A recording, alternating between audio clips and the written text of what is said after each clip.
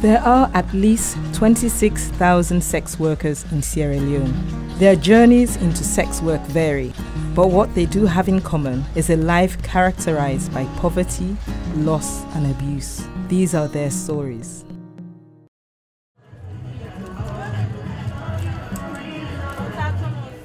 During the war, my mama die, my papa die. So my auntie will be too. They treat me. So me back, I look now, give up, I come on the streets. Let me take a see bolo na make na self na come on the street because mama no dey again, papa no dey again. Mama be there, papa be there. But all them kind of by the Cibola. Person no dey for take care of me. A lot of these women come from poor backgrounds. A lot of them have lost their parents.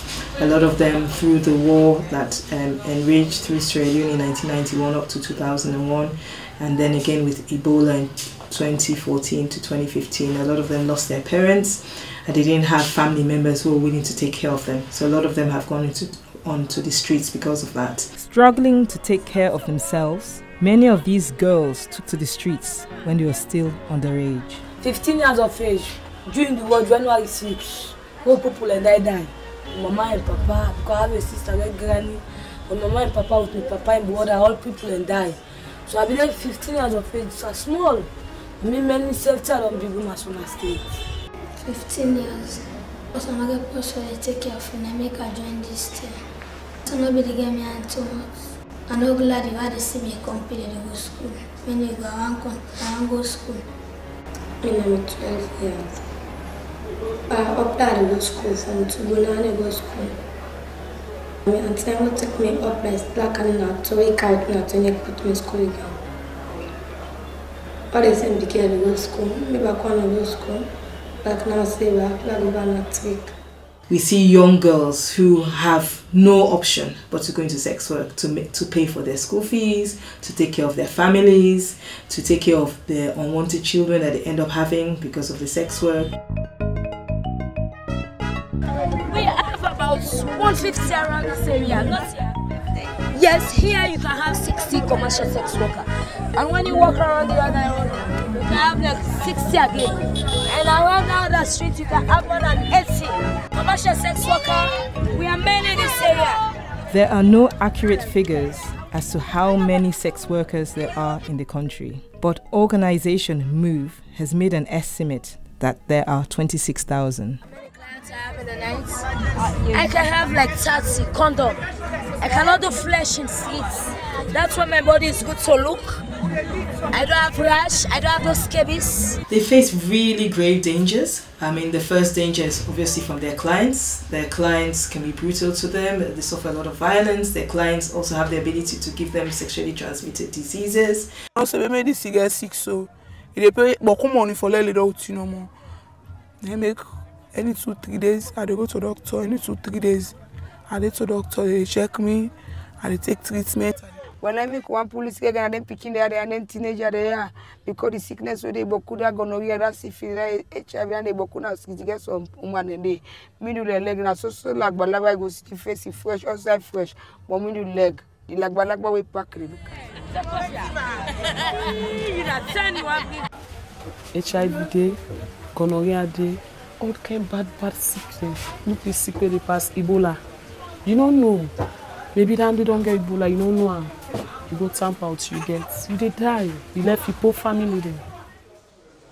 Per month, I buried more than 10 young ladies every month. Most of them died in the middle of the street at night. But we picked most of them in the dustbin. The last time a lady was dumped in a dustbin by her boyfriend, that time the lady is not died yet. They died from HIV, they died from cold, that is bronchopneumonia. And most of these, these people that are dying are within the age of 13 to 26 years. As they go in the street, I forget about you. But I really left if you survive. If you die now, to. Sex workers often face violence on the streets, and on some occasions, they have been raped and killed and left in the beach areas. We've heard about deaths of commercial sex workers. They've been killed, some are found dead especially around Lumley Beach area. We are still waiting to hear from the police, even though some of these death, deaths have taken like two or three years, up to four years. We are still waiting for them. Since we started January, roughly we have I think at least 15 to 20 of them die from violent death, like rape. The time I get the belly, I guess that's man then the way they call me. And they use me and they pay me. For me, and they beat me again. Cause me no type of cost no the way. For some man and they, I beat you. Like you don't use you back and beat me. And the devil na do. When you talk, then take left. So when you talk, they choke you. Like sometimes guy they can't take you, say okay, they go give you 15. When I go, you need give the money, they beat you and use you. They beat you, they pay you, they take all to you and yam back. For them to report their client that I met with this client, we arranged at a, at, at a particular amount. He didn't give me the money, then he hold me and beat me up. But it's not easy for them to report. I don't know what happened. I think they undergo the beating. However, these women cannot rely on the police for protection and are often targets for police abuse. Well, AdvocAid is a legal aid organization, so our primary role is to provide uh, paralegal services to these women who come into conflict with the law. So our role is to try and intervene initially at the police station to get them out on bail or to have the charges dropped. But apart from that, we try also to do preventative measures to teach them about their rights. The. When they kill me, then they beat me. They drag. They do me 150, 2 quid, 3 quid, 4. Every day they complain about the police, what the police are doing them when effecting their arrest, and even after arresting them in the police station, he said the police are asking for certain amounts of bail. Because as an ex-officer, I know what the police is capable of. I know what the police can do and what they cannot do. And in my own work for now, bail is free. The police there, where they hold, where they kill we, if we not get money, that's the little too, they left free. Or if you get valid, they pull on our hand. Or if you get money, as the it, they begin to you. Then they take the money your hand. Police will arrest commercial sex workers and then release them after they've made use of them. Some will even venture to have sex with them and then extort money from them. And that is a human rights violation as well as an abuse.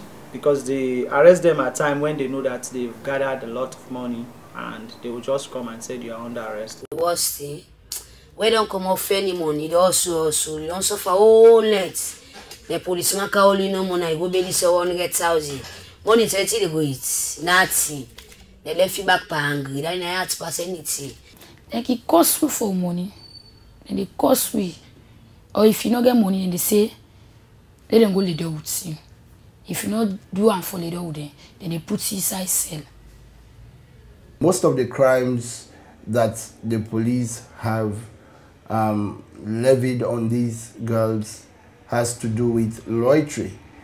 And our own line of um, concern here, why is the police so keen on the commercial sex workers, the ladies, and they don't go out for, for even the, the, the men who are in the trade as well? Past ten thing. For loitering no more. I don go jail, I don go born with pikin dey. They say ah one one bobo dey go kill one policeman, so na all that that area dey. They go get that wall, I think pass eight months belle, na that go dey tar born.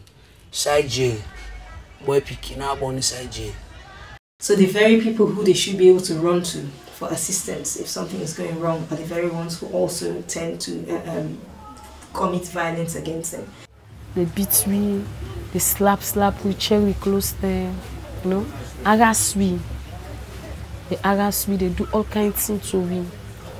Get sex with we. You know? So it's bad, shameful bad, not fine. When you when you arrest somebody for loitering, you bring them to the police. Why can't you charge them? Rather, you demand for sex. And these are most of the, the, the accusation from, from, from the ladies. That most of the time, the police will demand for sex from them, they will take their monies from them, and it has become a pattern. In September 2016, AdvocAid brought the allegations to the notice of the police for action. AdvocAid intended to bring to our attention some of the stories they have heard regarding commercial sex workers' encounter with the police so that we'll take a look at it. We are not saying it is true, but in the event it is true, then we need to act more responsibly.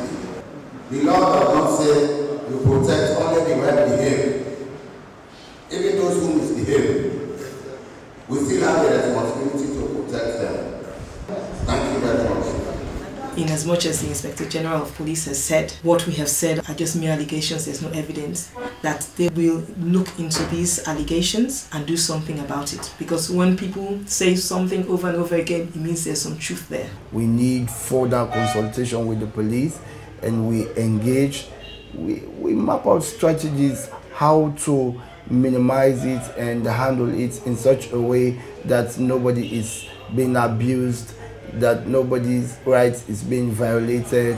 If they were really concerned about this illegal activity, they would take further steps when arresting them, maybe to even find ways of getting them off the street, you know, find out why are the young girls on the street and see if there are other alternatives.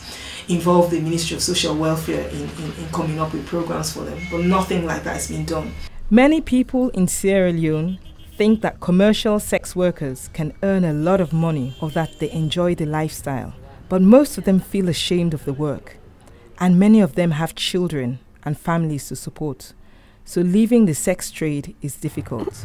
Not to buy which me which are common as streets.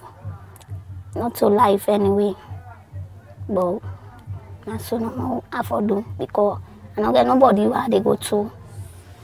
I don't get nothing. I don't get nobody, nobody where they help me. So I get for do for get me yourself. I get for do for pay me house rent. I get for do for buy for me pikin. Me mama dey in a village. Me brother na me one. Nobody, me papa don't die. It is a way of livelihood for a number of people in the country. So government has the responsibility in respect of whatever way it is being viewed to protect and promote their human rights.